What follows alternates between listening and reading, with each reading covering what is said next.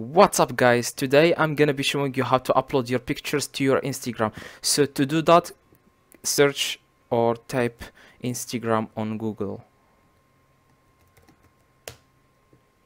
And you have to log in. So after you log in, click on this icon, your profile. And after that, what we are gonna do now is right click on the screen and go down and you will see inspect. Click on it. And what we care about in this page is toggle device toolbar. Click on it and click on reload or reload this page.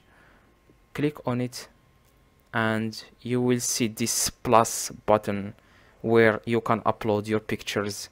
It's that simple guys. Just click on this plus button and here you can upload any picture you want. For example I will upload this picture.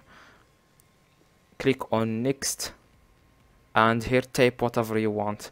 For example like my picture or you are gonna die and click on share.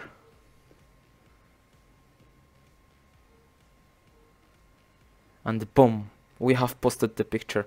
Thank you guys so much for watching this video and if you find this video helpful please don't forget to subscribe and leave a like on this video. Thank you